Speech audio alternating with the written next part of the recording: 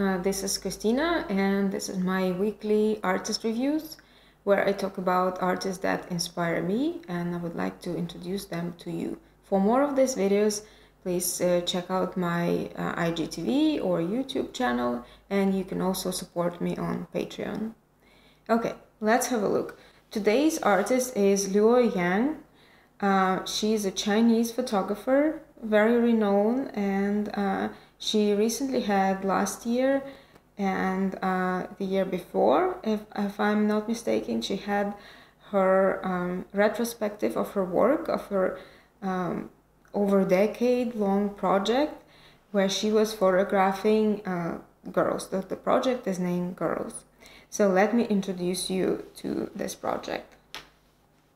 So you can see um, her approach to uh, her subject, to um, uh, framing and posing her subjects, uh, selection of her subjects, how she finds them, how she views them, what's important to her uh, in these images.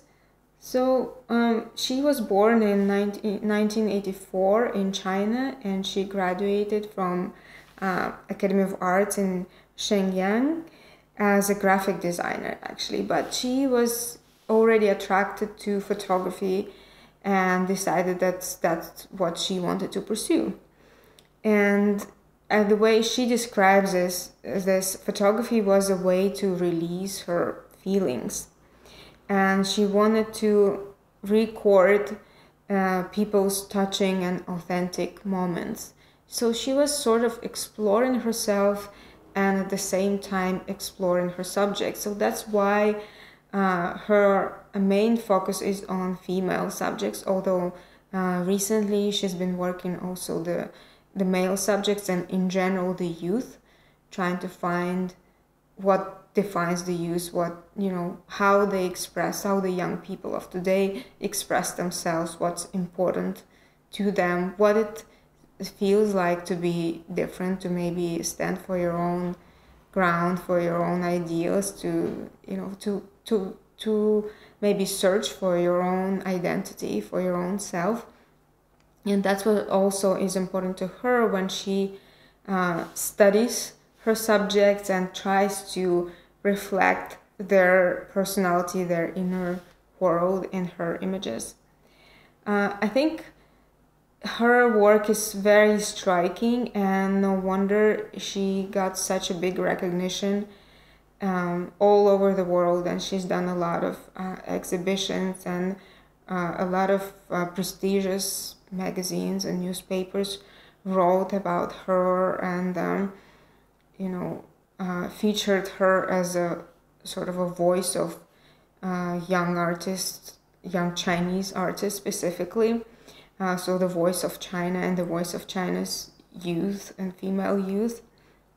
Mm. When she talks about her work, uh, she says that it's important to her to explore the femininity while challenging traditional beliefs about women in Chinese society, and I think uh, also exposed to the rest of the world, to the Western world, you, you know, what Chinese women can be like as opposed to this traditional uh, you know understanding and beliefs of, of them. So it's both challenging inside the chinese society but also in the rest of the world.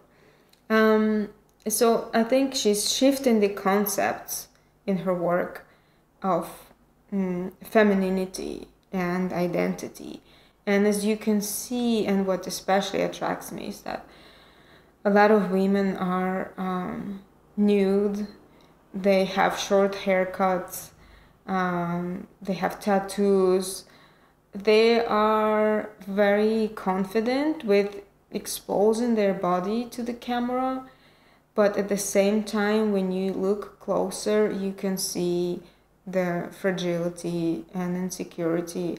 And i think that's what makes her work so mm, attractive and so like you respond to it so well as especially me as a woman and as an artist who is exploring the same sort of concepts what what it is like to be a woman you know what is what is important here in in the modern day culture in the modern day society what is expected of women what what what do we see them as and what do we what do we even know about this female world? And you know her subjects i think are always pushing those boundary boundaries. And what is interesting is that she is able to show both that you know very strong presence and confidence but at the same time you can see some insecurities and vulnerabilities on the inside. And i was very curious um, to know how she approaches her shoots and her finds her subjects and directs them and i watched and read several interviews with her and what she says that um, some of these are her friends, but a lot of the subjects are actually someone that she met for the first time, whether through uh, online or um, somewhere in the street. And um, she approaches them and uh, they start talking and um, she sort of gets to know them while they are on set while they are you know working on the shoot. And um, she observes her subjects and then she starts um, maybe making suggestions of what they can do and how they can pose and while giving them these slight directions she also makes them feel relaxed and comfortable and at the same time confident in front of the camera, which I think is really, really important. And um, you know, to feel a sub- to make the subject feel at ease in front of the camera is such an essential part of her project.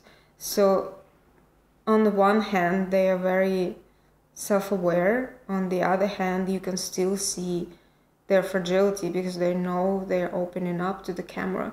And she even says that um, they become friends during the shoot and stay friends uh, for you know for a long time after that, which is I find quite interesting because it's I also feel the same way because it's so important to connect with your subject and of course you're sort of becoming friends and with some people you become really good friends even afterwards. Um, so while she shoots them, I, think she combines these techniques of um, you know staging the shot but also making it look like it's a snapshot like it's just the moment that happened. And that's what you know that's her magic right? That's what makes her images work so well so it doesn't look obviously staged it really feels like it, it just happened and she just happened to be there and document that really special really vulnerable or really maybe strong empowering moment uh, this particular project uh, is uh, just uh, portraits, I guess, of this um, young woman called Wang Yanyun. Um, I remember reading a story about this behind this project that uh, she divorced her husband and uh, decided that you know she wanted to start her life from scratch. So she decided to shave off her hair, and her boyfriend helped her do that. And I think she came back to photograph her sometime later when she went, was pregnant. And so also captured those moments of her, you know, going through this important stage of, of um, every woman being pregnant, um, you know, transforming her body and, uh, you know, transitioning into this new role, which I think is really special. This moment, of course, is very special.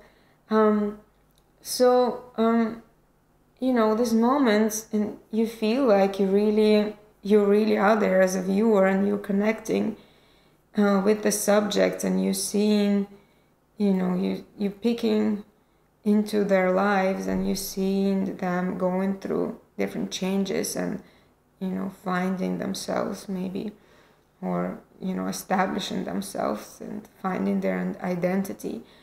Uh, so that's why I think her work is so important to um, to her, of course, but also to many young women, many young people around the world and in China as well.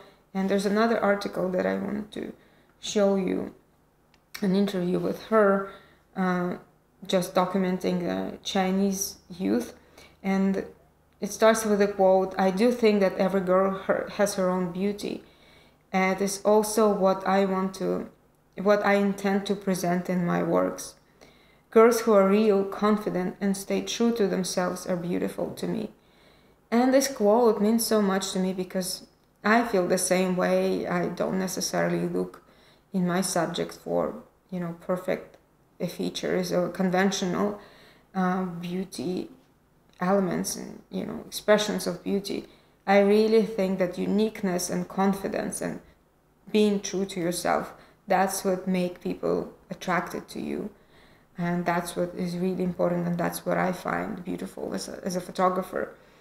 So it's a really interesting article about the retrospective of her work, and um, you know, there's a little more pictures from this project about girls, and mm, you know, showing the vulnerability and the strength of them, and yeah. So I really encourage you to look up her work and uh, try and understand her world. I think it's it's really important what she's trying to say as an artist.